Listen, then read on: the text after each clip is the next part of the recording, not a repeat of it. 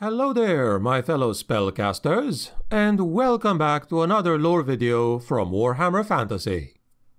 Today we're gonna be returning to the wonderfully diverse topic of the Imperial Colleges of Magic. Also, unless I'm mistaken, this is gonna be the last of the eight Colleges of Magic that remains to be covered. Ladies and gentlemen, this is the Light Order. Fortunately, for those of you who are fans of the series, this might also very well be the most lore-rich of all the colleges. Today we're gonna start with what this group is and what it does. Also, apologies if my voice may sound a bit uh, unusual or coarse, but after all, I am sick with the flu. I'm also your host, the Grimdark narrator, and without further ado, let us proceed, shall we?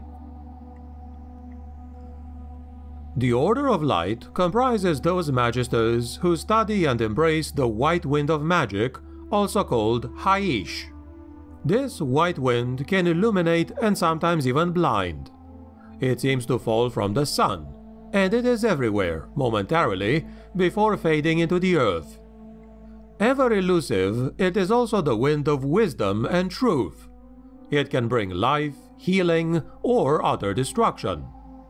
The complex spells cast with Hysh are often released with a blinding white light, and many are cast with elaborate complicated rituals.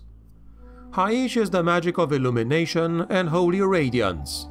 It is the etheric manifestation of light, including the uses that light can be put to, but some abstract concepts as well, like enlightenment or purity. Hysh can be seen as the light which banishes the darkness and keeps the unknown horrors of darkness at bay. Hysh can be compared to a constant and steady luminescence completely opposite to the randomness of chaos. It can also tend to be the most difficult of all the winds of magic to channel into a spell. The nature of the White Order's magic is as hard to pin down as the magic that forms and drives it. The spells of the White Order do tend to fall into three main categories though. Illumination, Protection and Healing, and Abjuration. In their turn, the spells of illumination fall into two distinct subcategories. Those of actual illumination, as in the creation of dazzling light, and the illumination of the mind, such as the ability to inspire or see through a falsehood. The Hierophants are renowned for their mastery of light and brightness, and they are said to be able to bend any kind of luminance to their will in almost any kind of way.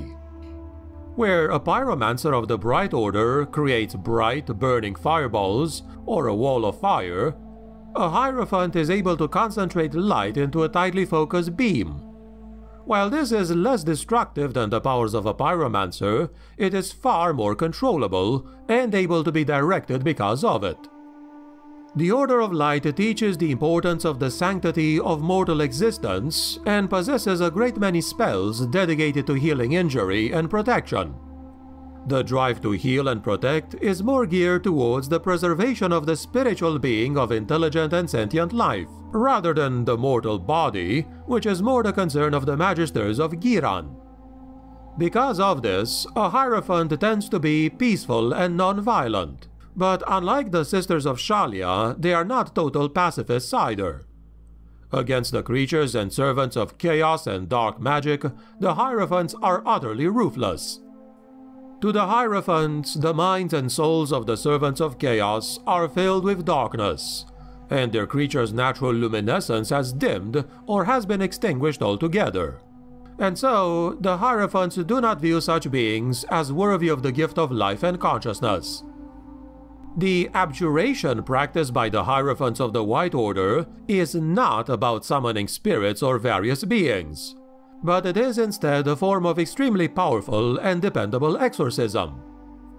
The exorcism practiced by the priests of Mor or Sigmar relies on invoking the god in question and the supreme faith of the exorcising priest.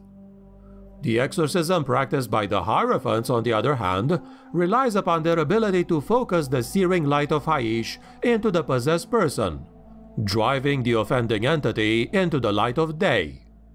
However, the magic of Hysh has very limited success when exorcising the spirits of dead people which are not tainted by dark magic. If Hysh is the light that banishes the darkness, it cannot banish a soul that is already luminescent but only lost. The demons and the spirits of the blackest magic, like wraiths for example, are a different matter altogether. The Hierophants of the White Order are able to drive these creatures back to the darkness and the realm of chaos.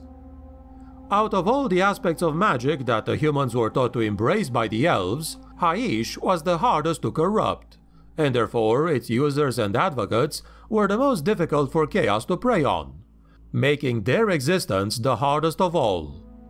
Darkness was simply the absence of light, so Teclis told them and so they have to take their light to the very darkest corners of the Empire and the darkest corners of humanity's soul.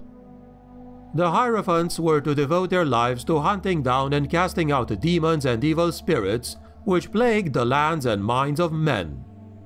They were not to follow the ways of the witch hunters, though, slaying and burning all they found corrupted. Instead, the Hierophants were to destroy only the darkness within and save the person if possible. Outside of their order, the life of a Hierophant is a lonely one. They spend their lives traveling secretly from place to place, dealing with hauntings, possessions, and other supernatural phenomena caused by the demonic influence of the Chaos Gods. Because of the nature of their calling, the Hierophants often appear in places unexpectedly. If the possessing demons were aware of the Hierophant's presence too early, it could cause harm to a host and flee to a new one. The goal of the White Order is to rid the world of the taint of chaos, of demons, and of dark magic, which, as you might imagine, is a never-ending and largely thankless job. It is rumored that the creatures and objects that the Hierophant cannot destroy or banish are instead bound and captured. The Hierophants then trap the dark objects in a dark magical prison somewhere in the Empire, to which they are the sole keepers. Out of all the colleges of magic, the Light Order is maybe the most peculiar. Because the Wind of Magic Day channel is so fickle, they harness the energies of the Wind Hysh using groups of trained acolytes, which combine their powers in a careful ritual. When the arcane currents that empower their skills are channeled correctly, the Wizards of the Light Order can manifest their magic as pillars of blinding white fire or lances of pure energy that can blast unnatural creatures back into the realm of chaos. Indeed, many light spells are so powerful that they could obliterate an individual if he would try to cast them unaided. However, using the strength of a choir of trained apprentices to control how much energy is focused into the Hierophant and how quickly, the Magisters of the White Order can create enchantments far beyond the powers of many other colleges. Of course, not all the spells of the Hierophants require the aid of many apprentices, only the most powerful or the most convoluted. The Magisters of the Order of Light are also the most accomplished and insightful philosophers in the old world. That is why they're sometimes called the Order of the Wise. The White Order also studies philosophies examining the nature of reality, including the pursuit and understanding of the principles, relations, and nature of existence itself. In other words, the Hierophants of the College of Light are also metaphysicians of the highest order. This college is usually in very good standing at the courts of the nobility living along the northern borders of the empire. Such rulers often seek the counsel of the Hierophants because of the White Order's ability to see the truth concerning the contamination of chaos. They also receive large financial endowments from the Emperor. And it is in fact rumored that out of all the colleges of magic, the Light Order receives the biggest amounts. Some whisper this is because the Emperor knows some dark secret of the Order. And if that secret would be exposed or destroyed, it could prove the undoing of Altdorf or even the Empire itself.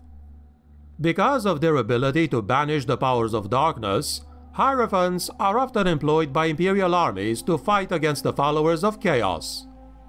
In addition, it is not uncommon for Hierophants to be asked to screen soldiers, militiamen, and sometimes even witch hunters who had had contact with the emissaries of darkness, to make certain that they do not become corrupted by chaos. And this, my friends, has been what I wanted to tell you about the Light Order, their anti chaos practices, their types of magic, and their duties for today. Out of all the colleges of magic, I think it is safe to say that these guys are the more or less stereotypical good wizards fighting evil. Of course, all the kinds of magisters fight chaos in their own way, but the Light of Hysh is literally the opposite of chaos more than any other wind of magic. Now, are you fans of the Light Order? What do you like or dislike most about them? In case you're curious, in the next episode I'm gonna go over the Magisters themselves. Do share any thoughts or questions in the comments below if you have any.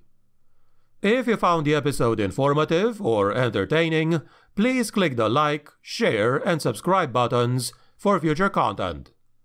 Thanks a lot for watching to the end, and I wish you all a healthy and awesome day. May the blessings of Sigmar be upon you.